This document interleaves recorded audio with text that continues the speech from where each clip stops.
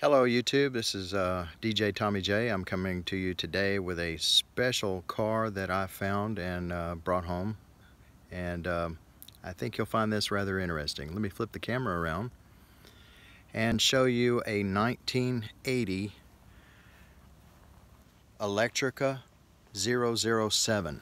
Okay, now this, I'll back up so you can get a full full shot here.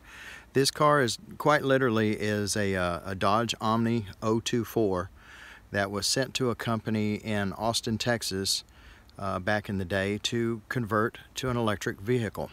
And uh, I'll zoom in right here and show you they actually had their own little name badge there.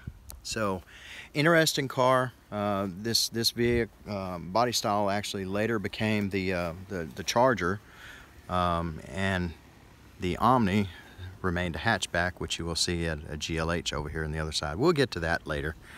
All right, so this converted electric car, um, very, very neat vehicle. And um, I had never actually seen one uh, other than on YouTube. And I was lucky to find one for sale on uh, Facebook from a real nice gentleman who used to be an auto shop uh, teacher and uh, he said the kids used to drive it uh, here in Texas and and um, I thought it's absolutely awesome. So in the back you see a, a whole bunch of six volt batteries um, a couple of relays over there on that bank a couple of relays on that bank. Um, I'll try to zoom in here which is difficult to see but there is a fan right there for venting out the uh, battery fumes.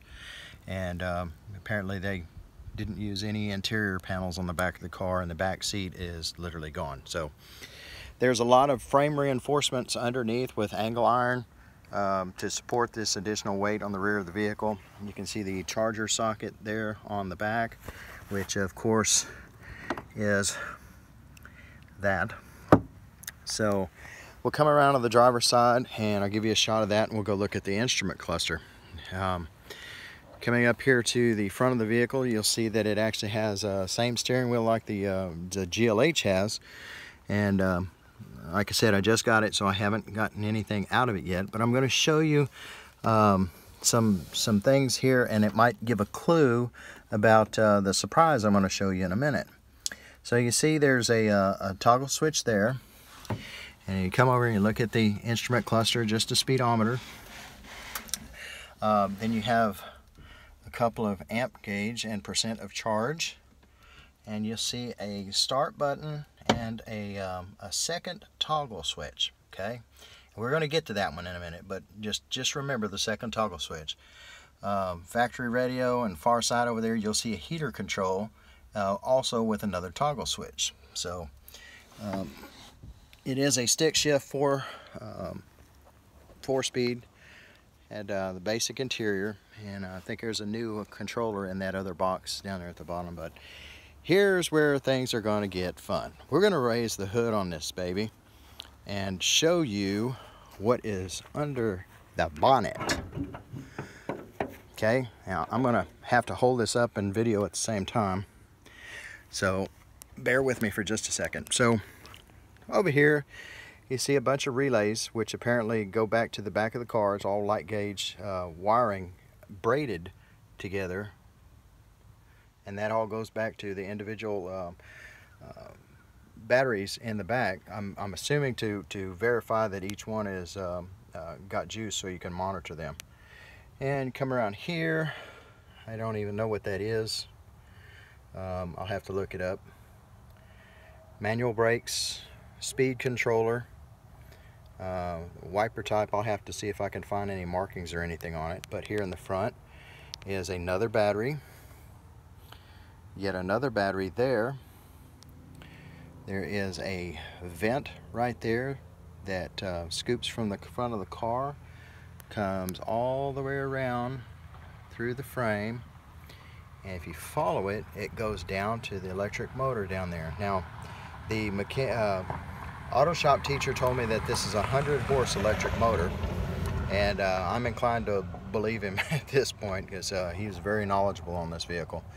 So that's quite a uh, quite a power plant for um, a vehicle this size. Um, massive overkill, to be honest with you. So what was the additional switches uh, up in the front for? The second toggle switch to start was because this vehicle is a hybrid. Uh, interestingly, it has a gas engine, Briggs & Stratton, up in the front that is electric start and has three alternators. There's one there. I uh, don't know if you can see the second one down there. And the third one, because I'm holding the hood, I can't can't really show you. But uh, just trust me when I when I tell you. There's there's three in here. What it does is basically you turn off one bank of batteries in the back, and while that uh, you're driving on one bank, this oh damn my fingers in the way this engine will simultaneously charge the, uh, the other bank using these three alternators in order to extend your range. Now, I don't have a lot of details on um, what the performance specs on this car were, but with a 100 horsepower electric motor, uh, this, this thing should be instantaneous as far as uh, taking off. So Anyway, uh, interesting find off of Facebook. I've got to uh, order some tires and uh, start uh, documenting everything on the car and we're going to do a Nissan Leaf battery conversion on this vehicle and uh, and put it on the road and uh, just see what kind of looks we get from people. So anyway, um, thank you for watching and have a great day. Bye.